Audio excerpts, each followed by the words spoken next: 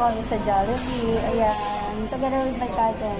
We're just surprising my my cousin husband. Birthday niya kasi ngayon. Kahit simple cake lang. May, yan, maliit yung cake kasi kami lang tatlo.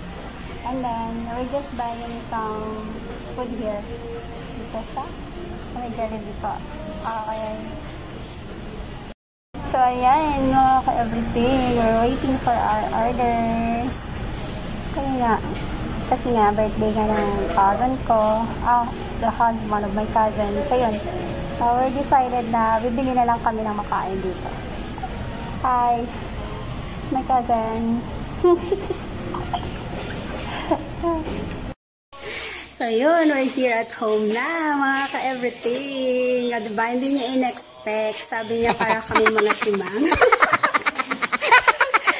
We're just saying na pupunta kami sa labas, may kukunin lang kami. But we don't know na bibili pala kami ng simple na handa. Ayan o.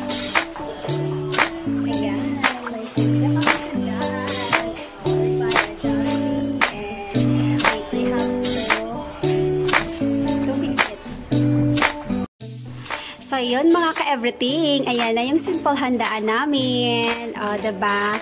He just cooked the shrimps. Pero hindi niya alam. Pumunta kami sa labas na may balak pala kami. Pagdating, sinabihan pa kami ng timang. Let me introduce to you our birthday man. Hello, Mang Eric. Happy, happy birthday. Ayan po. 56th birthday na ni Mang Eric. Blow it na. Ayun! Happy birthday, Mang Eric! Kasi, baka magtaka kayo, bakit ganyan yung kalaki ng cake namin? Ano yan eh, ah, kasi three of us here, ikaapat namin yung baby namin dito. So, at saka hindi kami mahilig sa cake, kaya maliit lang muna yung kukunin namin. So, it's for our baby lang. Tsaka yan, o ba diba? And then yung baby din namin ang kakain ng spaghetti. Yan na lang, mas masarap to. Ayan, shrimp. Yum, yum.